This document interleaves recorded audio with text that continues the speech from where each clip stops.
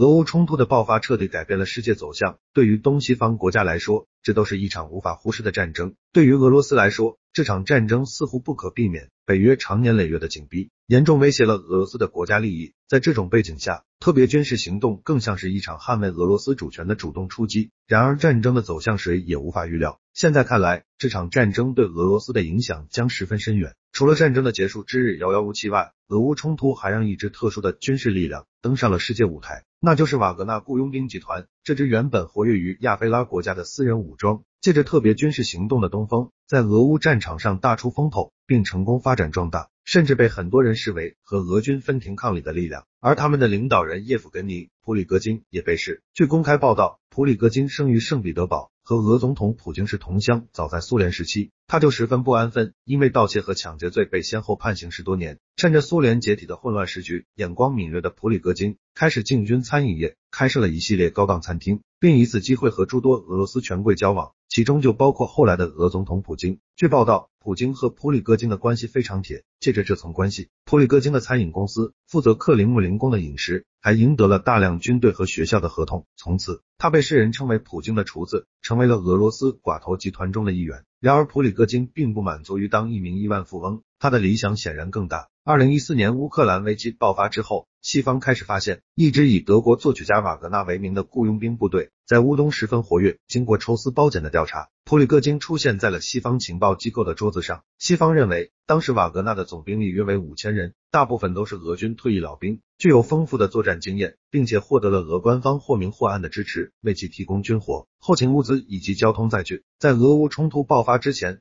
瓦格纳的主要活动地区在俄罗斯之外，包括非洲、中东地区都有他们的影子。俄罗斯官方也乐见有一支干脏活的武装。独立于俄正规军存在，特别是在叙利亚冲突中，瓦格纳的参战对于阿萨德政权来说至关重要。西方指控瓦格纳雇佣兵犯下各种罪行，包括知名度很高的用大锤杀死战俘一事。但是虽然在西方世界声名狼藉，但反过来说，那时的瓦格纳对俄国家利益是有一定好处的。此外，在世界各地参战的瓦格纳雇佣兵还为普里戈金带来了丰厚的个人利益。西方指控其控制了多个非洲金矿和其他矿产。这也为其私人军队的发展提供了充足的经费。但是随着俄乌冲突爆发，特别是陷入了战争僵局之后，莫斯科为了多重考虑，尤其是为了减少正规军的伤亡数字，愈发倚重瓦格纳雇佣兵的存在。大批瓦格纳雇佣兵得到了俄军充足的武器供应，拥有丰富作战经验的他们一经参战，就给了对面的乌克兰军队一点小小的俄罗斯震撼。尤其是巴赫穆特的绞肉机战役中，瓦格纳直接从俄罗斯各大监狱征兵，以参战可以减免刑期为诱惑。将那些罪犯吸纳入瓦格纳的阵营中，将其投入到血腥的巴赫穆特。这些亡命之徒悍不畏死，乌军根本抵挡不住，最终被瓦格纳拿下了巴赫穆特。然而局势的发展却开始让莫斯科难以掌握。按照西方的估计，瓦格纳及其能够影响的武装力量已经超过五万人。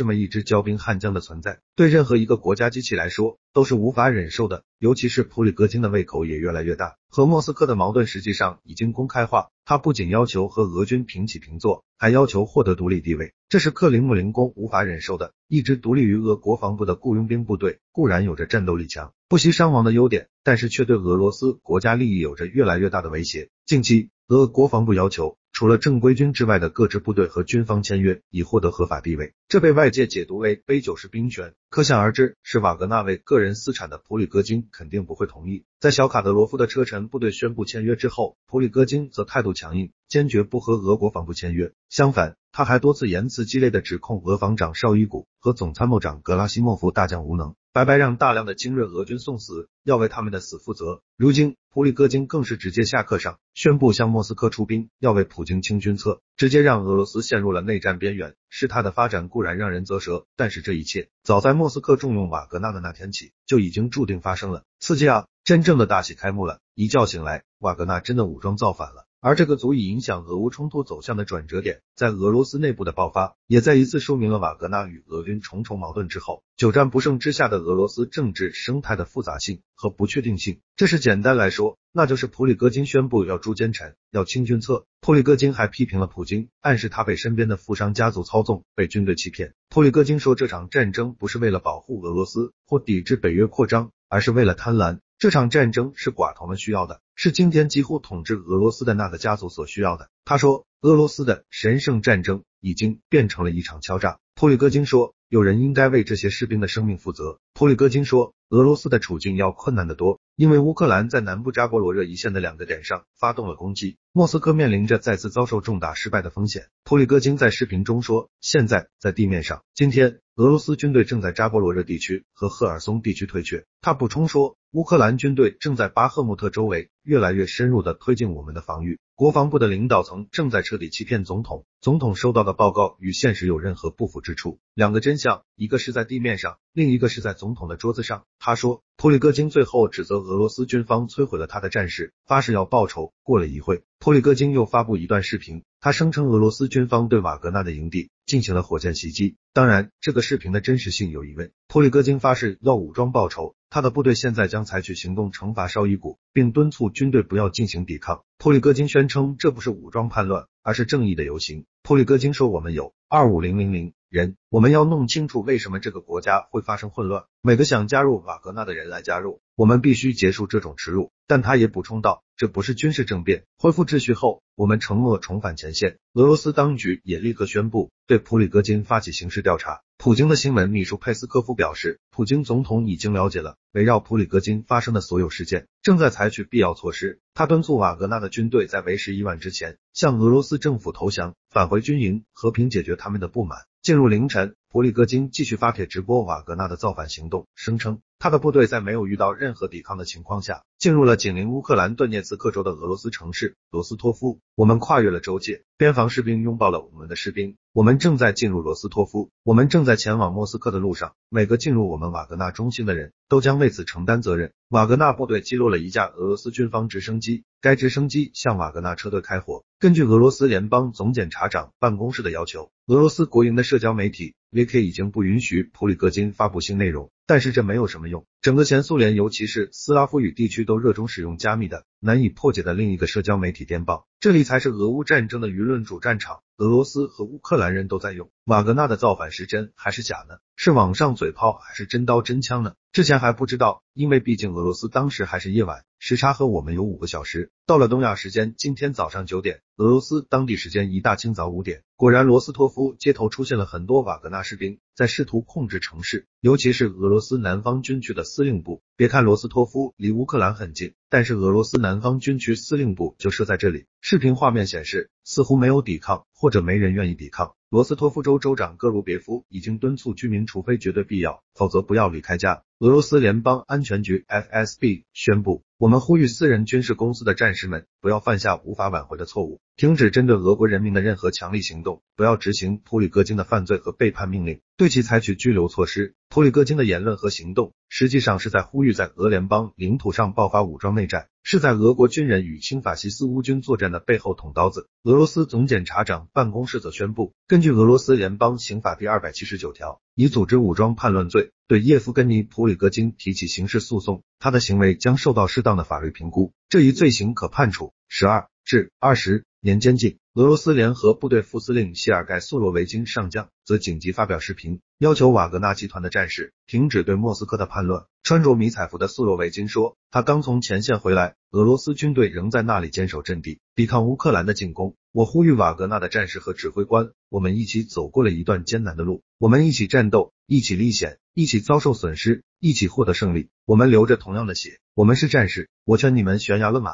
敌人正伺机等待国内政局进一步恶化，正值国家困难时期，我们不应该给敌人可乘之机。俄罗斯加强了莫斯科的安全，拜登已听取情况通报。美国官员正在密切关注，并告诉媒体这是真的。好吧，瓦格纳真的造反了。我在月初就预告过，现在信不信我呢？至于瓦格纳和普里戈金的命运，我还是不太看好的。毕竟只有两万多兵力，俄军怎么说都有二十万人。更关键的是，打仗要钱啊！瓦格纳的军费都是普京给他的，现在没钱了，能撑几天呢？历史上第一造反的人，大都不会有好下场。